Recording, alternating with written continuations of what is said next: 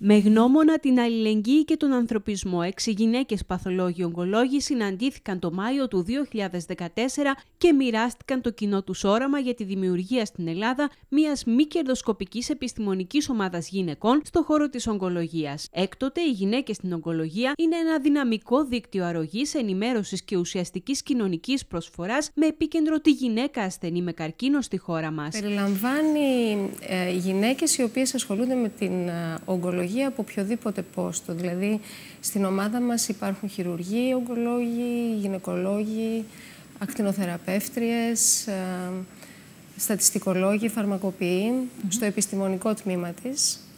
Ε, και λέω στο επιστημονικό τμήμα της γιατί υπάρχει και ένα πάρα πολύ μεγάλο κοινωνικό τμήμα, μια κοινωνική επιτροπή. Όπως εξήγησε η παθολόγος ογκολόγος Ζένια Σαριδάκη Ζώρα, η οποία μίλησε στην εκπομπή Κρήτη σήμερα της Κρήτη TV, πρόκειται για ένα δυναμικό δίκτυο γυναικών που ασχολούνται με την ογκολογία με διτό σκοπό από τη μία την προώθηση του διαλόγου για ευκαιρίες, λύσεις, απαντήσεις σε κοινά προβλήματα, αλλά κυρίως ένα πρωτοπόρο δυναμικό δίκτυο υποστήριξης, ενημέρωσης και ουσιαστικής κοινωνικής προσφοράς με επίκεντρο τη γυναίκα ασθενή με καρκίνο. Και το δεύτερο έχει να κάνει με τη διενέργεια γενετικού ελέγχου στα γονίδια BRCA 1 και 2, που είναι τα γονίδια της κληρονομικότητας του καρκίνου του μαστού. Mm. Μία εξέταση η οποία είναι ακριβή, η οποία δεν συνταγογραφείται ακόμα, ε, θα προσπαθήσουμε και προσπαθούμε να τη βάλουμε στο σύστημα της ηλεκτρονικής συνταγογράφησης. Μέχρι τότε όμως, εμείς για γυναίκες που είναι ε, ανασφάλιστες, άνεργες ή με χαμηλά εισοδήματα προσφέρουμε αυτή την εξέταση δωρεάν